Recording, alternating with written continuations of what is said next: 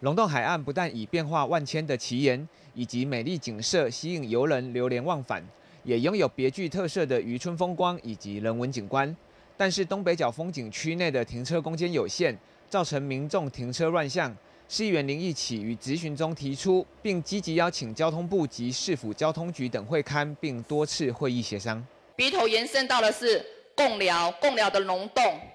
和美，甚至到了奥底、芙蓉。全部全部都是停车位一位难求，它所造成的交通拥挤，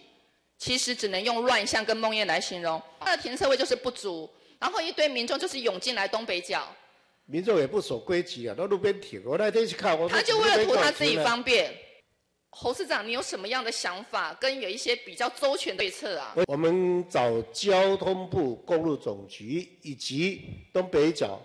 好好的把所有景点的停车场。重新再做一个详细的盘整以后，再增加来做一个规划。经西园林一起积极争取之下，龙洞湾停车场优化及周边景观改善，已在五月完成细部设计，八月工程发包，九月开始施工，总工程经费三千万，预计在龙洞湾增加一百个小客车及七个大客车停车位，滨海步道小停车场十二席及海堤停车场十八席。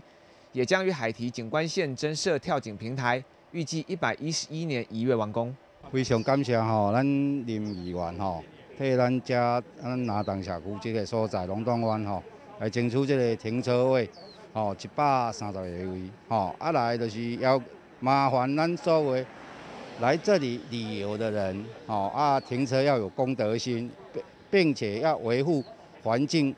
诶整洁甲清气。那这一次的工程不只是停车位增设的部分，我们还包括了整个啊海堤线的部分，我们也增设了跳井平台啊，让整个啊周边的环境能够更一致性，也能够提供给民众更好的一个啊海景视野。那最主要的是呃，我们期待整个停车场规划设计后，我们所有到访的游客也能够啊遵照规定，然后大家发挥公德心，然后不要再有违停的现象。造成整个交通的阻碍，还有附近民众的一些困扰。目前可见停车场正在工程施工中，希望停车场完工后有效改善龙洞湾与鼻头地区的交通乱象。也请民众在停车场完工后善用停车场，不要再随意乱停车，造成交通安全上的危险，也让当地民众无法进出及作业。记者李嘉文共聊采访报道。